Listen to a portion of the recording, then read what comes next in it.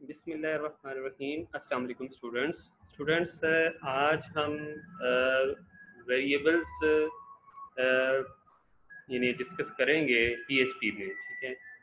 PHP में variables को किस तरह से हम डिक्लेयर करेंगे और किस तरह से यूज़ करेंगे? लास्ट लेक्चर में मैंने आपको पीएचपी की इंस्टॉलेशन और पीएचपी का सिंटैक्स और सर्वर जो है, कैसे स्टार्ट करना है, उसका आपको मैंने डिटेल से बता दिया। अब फर्दर आगे हमारा अब इस में क्या क्या चीज़ हमने और मज़ीद इसमें सीखनी है तो हम आज वेरिएबल्स देखेंगे कुछ जनरल चीज़ें देखेंगे। उसके बाद हमारा अगला इस जो टॉपिक होगा, वो हमारा डेटाबेस यानी डेटाबेस एप्लीकेशन के ऊपर होगा, ठीक है? क्योंकि एग्ज़ाम्स में एक क्वेश्चन ज़रूर डेटाबेस एप्लीकेशन से आता है और वो इंशाल्लाह हम अगले लेक्चर में डेटाबेस पे वर्किंग करेंगे और किस तरह से हमने सर्वर को यूज़ करना है, ठीक है? तो वेरिएबल्स सिंपल एक तो मैंने आपको सिंटेक्स बताया था कि पीएचपी का जो भी सिंटेक्स होगा, वो आपने ये देखिए जैसे लेस देन क्वेश्चन मार्क और PHP this is the start of program और क्वेश्चन मार्क और ये ग्रेटर देन साइन है, इस ये एंड ऑफ़ द प्रोग्राम ठीक है? This is the start of the program and this is the end of the program इसके दरमियान अब आपने कोडिंग करनी है। तो वेरिएबल्स को किस तरह से हम डिक्लेयर करेंगे? वेरिएबल कंटेनिंग स्ट्रिंग यानी वेरिएबल स्ट्रिंग भी वेरिएबल का तो पता है आपको कि वेरिएबल स्ट्रिंग भी हो सकते हैं वेरिएबल में वेरिएबल में नंबर्स भी हो सकते हैं। तो यहाँ पर देखें, ये डॉलर साइन लिखा हुआ नज़र आ रहा है और टी एक्स टी तो ये समझ लें कि ये जो मैंने काम किया है, ये दैट इज़ वेरिएबल डेक्लेरेशन एक तो सिंपल डॉलर साइन ए कर दें डॉलर साइन बी कर दें, ठीक है? या डॉलर साइन एक्स कर दें, ठीक है? बाकी जो यानी वेरिएबल को डिक्लेयर करना है तो आपने जब भी डिक्लेयर करना है तो डॉलर साइन देना पड़ेगा आपके साथ, ठीक है? ये इस तरह कभी नहीं करना कि इंट ए करें इंट बी करें ठीक है? फ्लोट ए करें फ्लोट बी करें ऐसे नो यानी वो आ, वो सिंटेक्स नहीं है। सिंटेक्स क्या है कि आपने जब भी वेरिएबल डिक्लेयर करना है डॉलर साइन साथ देना पड़ेगा आपको। आगे वेरिएबल का कोई भी नाम लग दें ठीक है? स्पेस के बगैर ठीक है? और इसी तरह से डॉलर साइन और एक्स यहाँ पे क्या किया हुआ है? यहाँ पे सिंपल आपको पता है, ये इक्वल साइन है this is the assignment operator और ये हेलो वर्ड जो है, ये जो इन्वर्टेड कॉमा के अंदर लिखा हुआ है, ये असाइन हो जाएगा टी एक्स टी के अंदर। ये तो आपको स्टेटमेंट का तो पता है, ठीक है? इसी तरह 16 जो है नंबर है, वो इसमें चला जाएगा। तो इसमें ये मेंशन करने की ज़रूरत नहीं है कि डॉलर साइन ये इसमें हम स्ट्रिंग दे रहे हैं या टीजर दे रहे हैं। या इसमें ऑटोमेटिकली टाइप कास्टिंग हो रही है। ऑटोमेटिकली जो इसका जो इंटरप्रेटर है जिस इसका जो कंपाइलर है वो आ, या जो सिंटेक्स है उसमें ऑटोमेटिकली वो स्ट्रिंग को उसमें कन्वर्ट कर रहा है ठीक है? आप जिस तरह का भी वैल्यू यूज़ करेंगे वो उसको इंटीजर में ले लेगा ठीक है? ये एक तो ये चीज़ होगी। तो सबसे पहली चीज़ कि आपने वेरिएबल्स को डिक्लेयर करना है हमेशा डॉलर साइन के साथ ठीक है? अब नेक्स्ट पेज पे आ जाएँ। यहाँ पे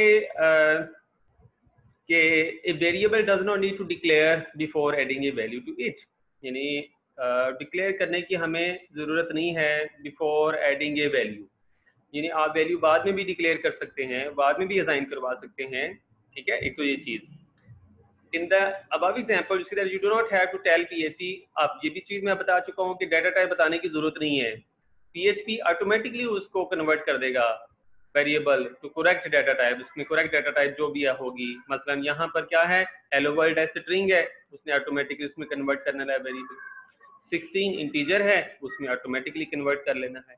तो ये ऑटोमेटिकली कन्वर्ट करता है वेरिएबल को to the correct data type depending on its value ठीक है? In a in a strongly type programming language strongly type का मतलब ये होता है कि वेरिएबल आप अगर क्रिएट कर रहे हैं वेरिएबल डिक्लेयर कर रहे हैं, उसके साथ आपको लाजमन डाटा टाइप डिफाइन करनी पड़ेगी। यहाँ पर नहीं है ऐसा कुछ, ठीक है? तो you have to declare define the type and name of the यानी कि आप जैसे सी लैंग्वेज है या सी प्लस प्लस में, वहाँ आप क्या करते हैं? इंट ए लाजमी करते हैं। इंट यानी कि आपने डेटा टाइप लाजमी दी है। This is strongly type but यहाँ पर आपको इस तरह का कोई जो है सिंटेक्स नहीं है। जस्ट आपने इंट फ्लोट डबल कुछ लिखने की ज़रूरत नहीं है। This is not strongly type language आपने normally dollar sign T X T कर दिया ये डॉलर साइन ए कर दिया डॉलर साइन एक्स कर दिया वेरिएबल क्रिएट हो ठीक है? तो in PHP the variables declared automatically when you use it यानी डॉलर साइन से जब जैसे ही आप कोई वेरिएबल का नाम लिखेंगे और, और इस तरह से क्या होगा? ऑटोमेटिकली वेरिएबल क्रिएट हो जाएगा।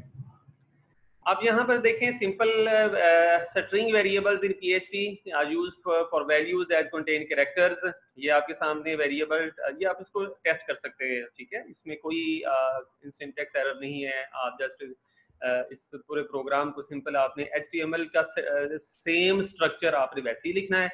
और आपने बॉडी के अंदर जहाँ भी, जिस जगह पे भी आपने पीएचपी की कोडिंग स्टार्ट करनी है, वहाँ पे आप लेसन क्वेश्चन मार्क पीएचपी लिखेंगे और क्वेश्चन मार्क और ग्रेटर देन साइन इसके दरमियान आप कोडिंग शुरू कर देंगे, ठीक है? तो यहाँ पे देख लें कि dollar sign T X T hello world कर दिया और मैंने echo text T X T dollar sign भी देखे साथ लिखा हुआ है तो ये देखें dollar sign T X T इसमें जो हेलो वर्ड लिखा हुआ, जो साइन हुआ हुआ है, वो इसमें प्रिंट हो जाएगा। तो इको का जो echo that is use for print the statement ठीक है? अगर आप इसको देखना चाहते हैं मैं आपको इसको uh, इसकी चेक uh, करा देता हूँ किस तरह से आप इसको रन करना है। ताकि अच्छी तरह क्लियर हो जाएगा आपका। मतलब जैसे ये नोट नोटपैड है। ठीक है? अच्छा यहाँ भी देख सिंपल डॉलर साइन ठीक है? एक चीज़ मैं आपको बता दूँ सबसे पहले कि आपने सर्वर ज़रूर स्टार्ट करना है, ठीक है? आप जाएँगे सी सी ड्राइव में जहाँ भी आपका सर्वर इंस्टॉल है, ठीक है? यहाँ पे वैम्प है, ठीक है? और फिर मैंने वेब मैनेजर ओपन करना है, ठीक है? वेब मैनेजर ओपन करूँगा। यस अब यहाँ पे देखें, आपके स्टार्स बार पे वेब सर्वर नज़र आ गया। यहाँ पे आप क्लिक करें और स्टार्ट ऑल सर्विसेज़ कर ठीक है? अब आपका सर्वर स्टार्ट हो चुका है, ठीक है?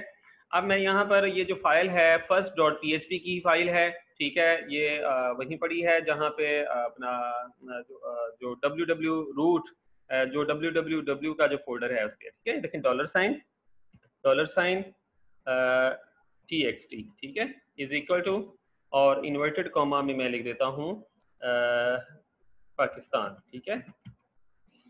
ये ले ठीक है? सेमी कॉलम ऐसे। ठीक है? और इको आप कर दें dollar sign dollar sign T X T ठीक है? ये लें सेमी कॉलन ये आपका वेरिएबल प्रिंट हो अब ये अब इसको हम इसको एग्जीक्यूट कर लेते हैं। एग्जीक्यूट कैसे करना है? मैं ब्राउज़र रन कर रहा हूँ।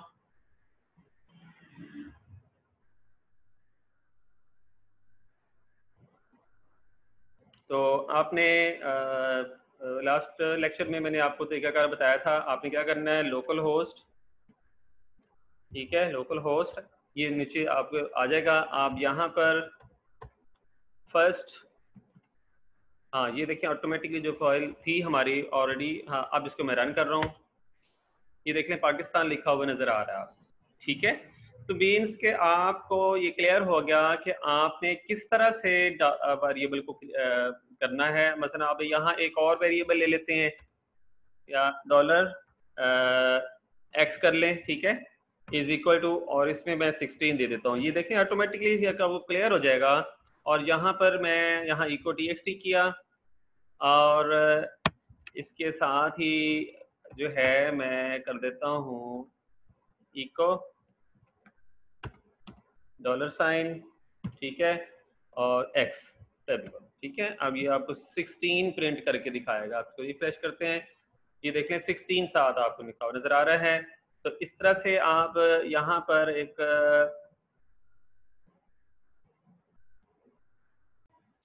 यहाँ पे एक और काम करते हैं कि मैं लेस देन बी आर का टैग यूज़ कर लेता हूँ, ठीक है?